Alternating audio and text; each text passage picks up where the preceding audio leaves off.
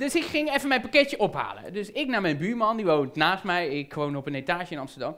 En ik, ik bel aan en ik zeg, oh joh buurman, ik heb dit briefje en er is als goed is een eh, pakketje bij u eh, geleverd van, eh, dat echt voor mij was.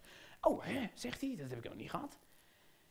Dus ik denk, hè, hoe, hè? Dus ik kijk nog eens goed op het briefje en dan zie ik dat ze een adres hebben ingevuld. Dus ik, ik, ja, ik, lees dat en ik denk, hè? Maar dit is hier gewoon vier straten verderop.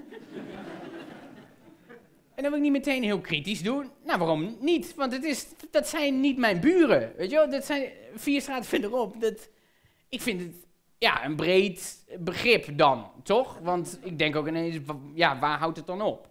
Zijn het dan vier straten verderop? Zijn het dan, ja, oké, dat, dat, dat, En dan blijkt mijn buren, maar is dat dan de grens? Of is het vijf straten verderop, zes straten verderop, zijn ook nog mijn buren? Toch? Want het moet ergens wel ophouden, want anders krijg je hele rare gesprekken bij de rijdende rechter, toch? Nee, want dan is ja meneer, wat is er aan de hand? Nou, onze, onze buurman weigert mee te betalen aan de schutting. Ja, dat is omdat hij 160 kilometer verderop woont. Dat is logisch dan. Toch?